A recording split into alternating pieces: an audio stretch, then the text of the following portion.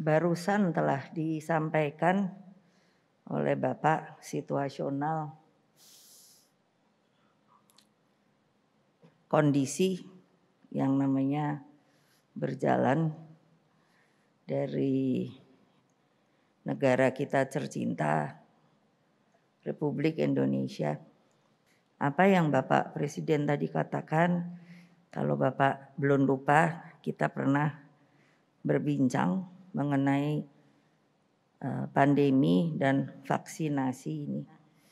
Waktu bertemu saya bilang Bapak jangan yang tegar, saya bilang ini tidak hanya kita saja, seluruh dunia. Kita belum tahu kecepatan antara vaksinasi dan artinya sebagai bagian dari pengobatan dan meruntuhkan virus ini berapa lama. Memang disebut ini saling berkejaran.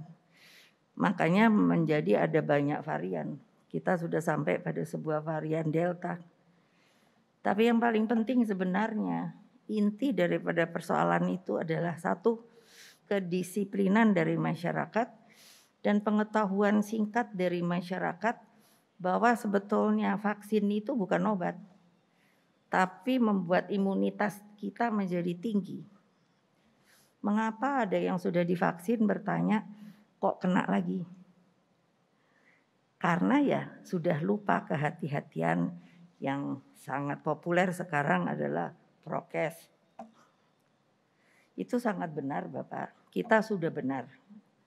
Makanya saya bilang saya dukung Bapak. Jalur kita sudah betul.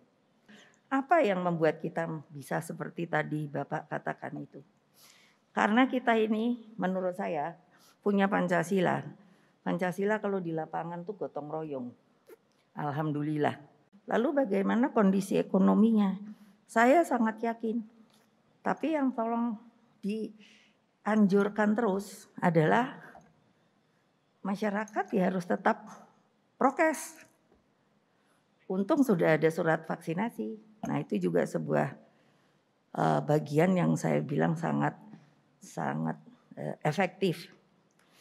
Nah di sisi ekonomi kalau menurut saya kalau ini segera rakyat mengetahui bahwa vaksinasi ini memang bisa sangat berperan, tapi tetap dengan prokes, kan begitu nih yang mesti diomongkan. Maka yang namanya kehidupan ekonomi meskipun belum berjalan secara penuh dapat dilakukan. Saya yakin itu. Tadi kita sudah mendapat paparan dari Presiden tentang keadaan COVID bahwa penanganannya bisa dikatakan cukup efektif dan kita optimis bahayanya adalah bahaya dunia, bahaya seluruh manusia, tapi kita mampu menghadapi dan memang kita harus menghadapinya. Jadi uh, kami rasa bahwa dengan suara-suara yang ingin memperkeruh keadaan itu tidak perlu dihiraukan. Kita sudah berada di jalan benar, jadi eh, kepimpinan Pak Jokowi efektif, Pak.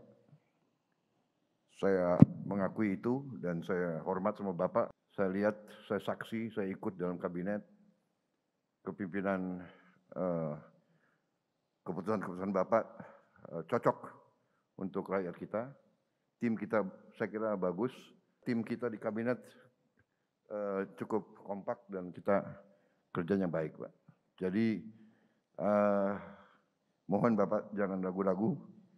We are on the right track. Karena itu masalah COVID saya kira kita cukup optimistis. Bahwa ada kekurangan, ada keterlambatan vaksin itu saya kira yang dihadapi oleh banyak negara. Kedua yang Bapak sampaikan, ekonomi juga kita optimis, kita cukup baik.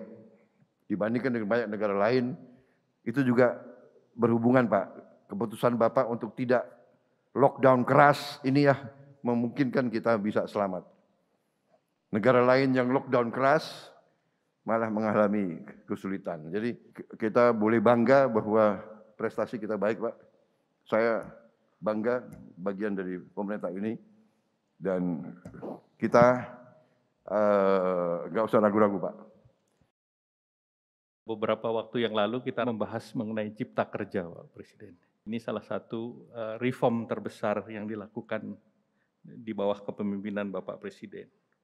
Mengenai uh, perekonomian ke depan, kita perlu mencapai pertumbuhan yang di atas rata-rata yang sudah bisa dicapai. Utamanya adalah untuk mendorong penurunan kemiskinan dan lapangan pekerjaan.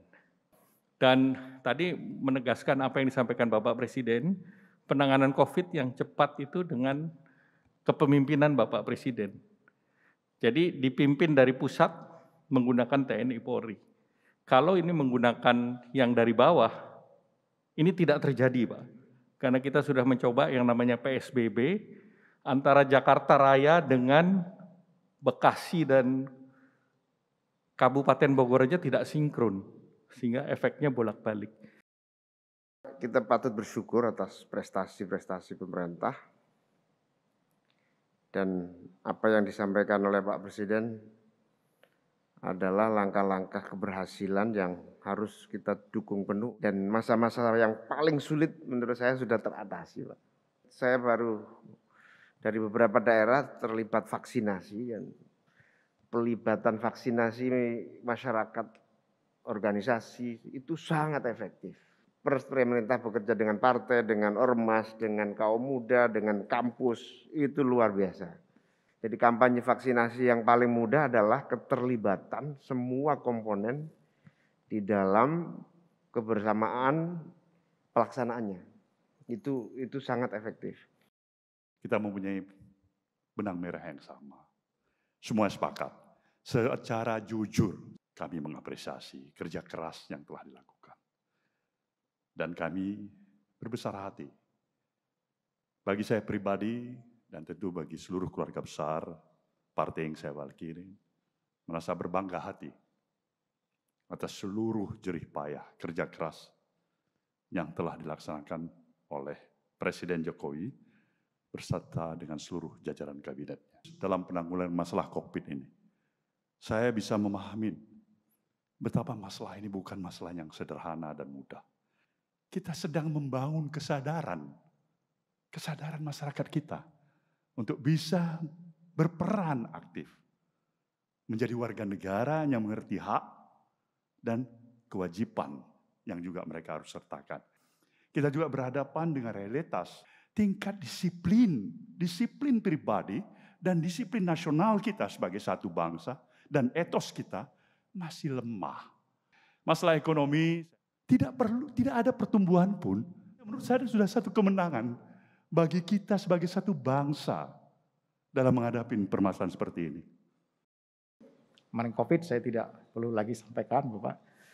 Karena COVID juga uh, waktu kami bertemu dengan beberapa ahli ekonomi di uh, Amerika, mereka justru menceritakan kepada uh, kami mengenai rumus-rumus Arnold, arti yang bagaimana caranya itu yang dikendalikan dan kita telah melakukan itu. Jadi saya kira kita sudah on the right track. Tidak ada negara mana pun yang punya resep yang benar. Yang penting adalah prosesnya benar. Dan kita sudah dinilai prosesnya eh, benar. Bagaimana kami kerja dalam situasi pandemi? Kami akan membentuk worksite bubble. Jadi nanti ada eh, border eh, control Kemudian juga nanti ada emergency yard, ada emergency teras, kemudian juga logistik yardnya di tempat titik-titik yang Bapak Presiden sudah melihat kemarin, kami sudah lakukan.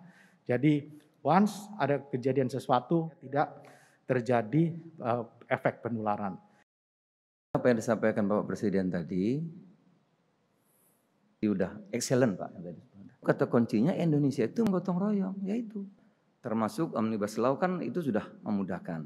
Saya karena baru pertama nggak boleh banyak-banyak pak. Bicaranya sedikit aja, semoga manfaat.